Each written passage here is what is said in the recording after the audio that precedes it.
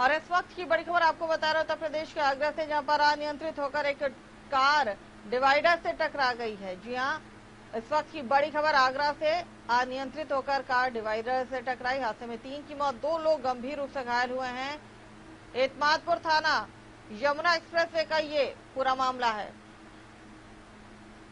तो आगरा से इस वक्त की बड़ी खबर आपको बता रहे हैं, जहाँ पर अनियंत्रित होकर कार डिवाइडर से टकराई है। हादसे में तीन लोगों की मौत हुई है, जबकि दो गंभीर रूप से घायल हुए हैं। यमुना एक्सप्रेसवे एतादपुर थाने का ये पूरा मामला है। और फरहान खान हमारे सहयोगी इस खबर पे जुड़े हैं। फरहान, एक बार फिर यमुना एक्सप्रेसवे पर एक हादसा हुआ है, जहाँ पर एक कार डिवाइडर से जाकर टकराई है। तीन की मौत, दो गंभीर घायल हैं।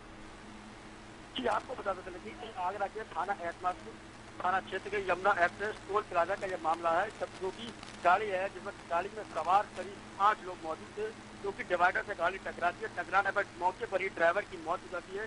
वही जिसमें चार लोग गंभीर रूप से घायल होते हैं। घायल लोग को तत्काल निजी अस्पताल में भर्ती कराया जाता है।